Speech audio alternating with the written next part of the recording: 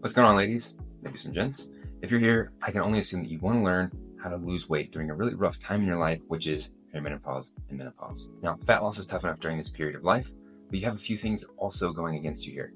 You've gained weight in your midsection. You're really not happy with the way you look, and your hormones are a lot of whack. Now, what you used to do just doesn't seem to work anymore. And I can venture to guess that once you hit these mistakes today, what you used to do is actually what's hurting you now. But why should you listen to a 25 year old dude about fat loss over 40 during perimenopause and menopause? Well, I've helped dozens of women do this exact thing through hormone changes, through perimenopause, through menopause, to lose the fat and keep it off for life. I'm also super passionate about this age group and about the women that I coach because my mom went through these same things.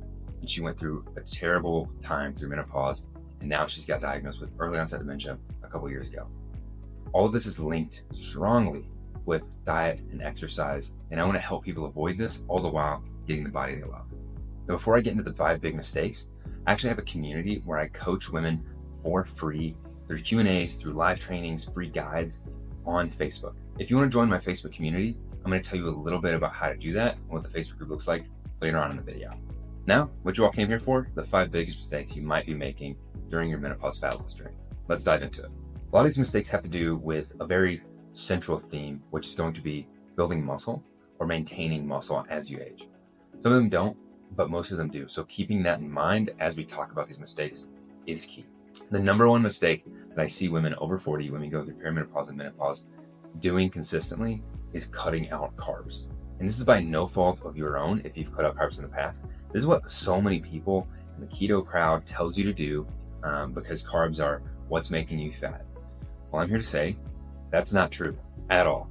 It just happens so happens that most of the carbs that people are eating in the standard American diet are highly refined, processed carbs and sugars that you might find in your pantry or on the center aisles of the grocery store.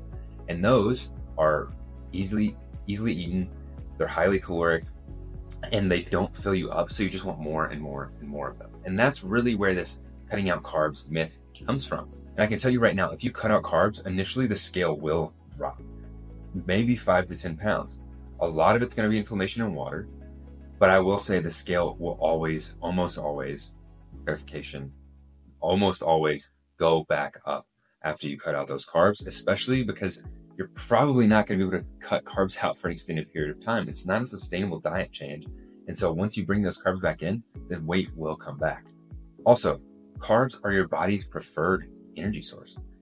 80% of the energy that you expend daily is used through carbohydrates. It prefers carbs each and every day for the majority of your tasks. Carbs are also helpful in building muscle. Your muscle loves to pull in glucose, it loves to pull in that muscle glycogen and use the carbohydrates in order to build and perform.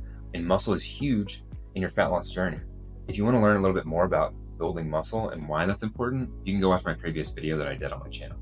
Which in turn comes back to if you're not eating enough carbs, your body's got to find preferred energy from somewhere else, which a lot of times happens to be muscle. It starts paring down muscle in order to um, pull in that energy that it needs.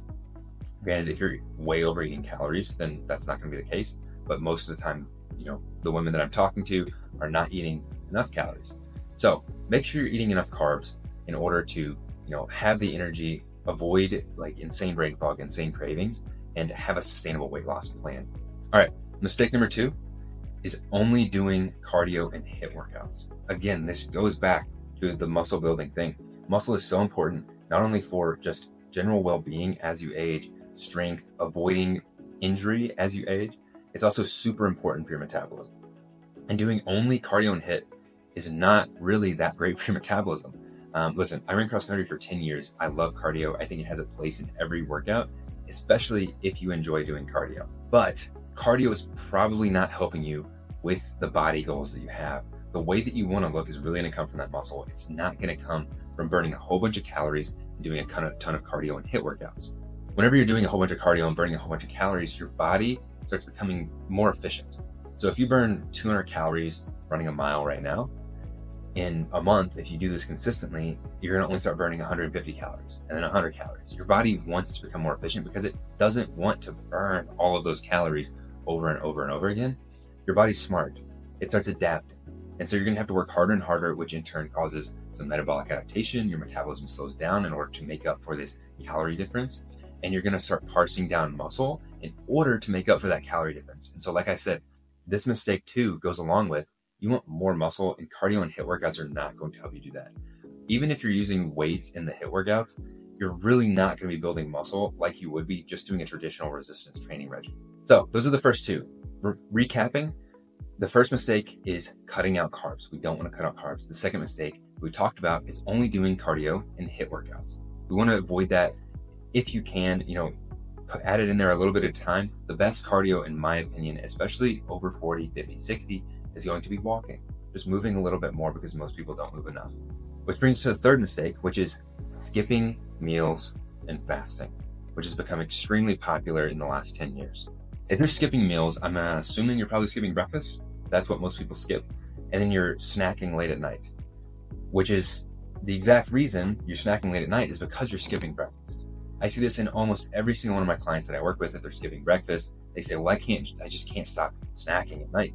Well, it's because your body didn't have enough fuel through the first six hours of the day before lunch. Then you're eating a light lunch because you think you need to eat less. But then at dinner, you're super hungry, so you eat a whole bunch of food, and then you're still hungry after that. So then eight, nine o'clock rolls around and you're diving into the pantry to find whatever you can. Skipping meals is not necessarily good for you. There are is evidence that shows intermittent fasting is, is good for um, cell regeneration and fat loss and this and that, but all it is doing is creating a calorie deficit. But long term, it's not a great solution, especially as your hormones start changing through perimenopause menopause. Your body needs energy from somewhere, especially during that first part of the day when cortisol is spiking what it's going to do if it doesn't have the energy through food, again, is start paring muscle down. It's going to start breaking down muscle for that glucose to put into your bloodstream. And whenever it does that in the morning, your cortisol spikes. If you're not intaking food, it's going to continue spiking higher than it probably would if you had food. And that comes back down to cortisol spikes because it's like a, uh, a stress response to waking up. It helps wake you up. But then initially, our bodies want that food. That's why it's called break breakfast, break fast. Um, you're breaking that fast in the morning. And if you have food, it helps lower that cortisol, helps lower that stress response, and it's going to help you burn more fat in the long run if you're lowering that cortisol. Because as your hormones start changing, your hormones like cortisol and insulin get all thrown out of whack, and you need to manage those as best as possible. So, fasting and skipping meals is not good for you. Even skipping dinner and lunch, that is not good for you there. Because going back to that insulin in your blood sugar, if you're skipping lunch if you're skipping dinner, your blood sugar is going to be all over the place. Your calorie counts are going to be all over the place. And our bodies don't like that at all. Our bodies really like consistency. Pretty much the same thing every single day for your body is like gold for it. And the better, better you can do that, the easier fat loss is going to be. And if there is no consistency in your day to day, your fat mass stores are going to continue growing because your body really doesn't know what to expect and when it doesn't know what to expect, it feels like it needs to have something in its back pocket in order to pull energy from. And that's where the fat mass stores come from if you're not consistent. All right, that's mistake number three. Again, so far we've talked about not cutting carbs, not doing a ton of cardio and HIIT, and we don't want to skip meals. So stop the fasting, add carbs back in, and start resistance training is what we've learned so far. The fourth mistake that I want to talk about, I talk about all the time, not eating enough protein. This is huge. If you want a full breakdown, you can go check out my video all about protein. But not eating enough protein is huge for muscle growth. Again, you need that protein in order to have muscle growth. The protein's also going to help you feel really full. So if you have trouble with cravings, if you have trouble overeating, that's going to help you feel more satiated every single day. Protein's also going to help boost your energy because your cells can't recover without enough protein. So if your cells are starting able to recover, you're going to start feeling more energetic. Your hair is going to be fuller your skin is going to feel better because you're getting enough of those amino acids that are in, say, collagen protein. And your life is just going to get so much easier because you're eating enough protein.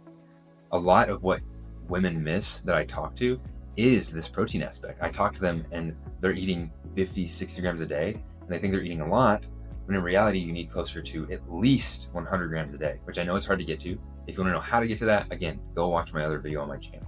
All right, I'm going to interject here and talk a little bit about how I mentioned you could get into my free Facebook community in order to get access to myself to ask questions, my live trainings, my guides, all of my resources that I give out for free to the women in this community so that I can help them lose weight and feel great without having to pay for my coaching because I know a lot of people can't. Or if you just want to get in there and understand a little bit more about my coaching, you can do that too. To get into my group, I have the link in the description of this video. Go down to that, click the link. You have to answer a couple questions to get in.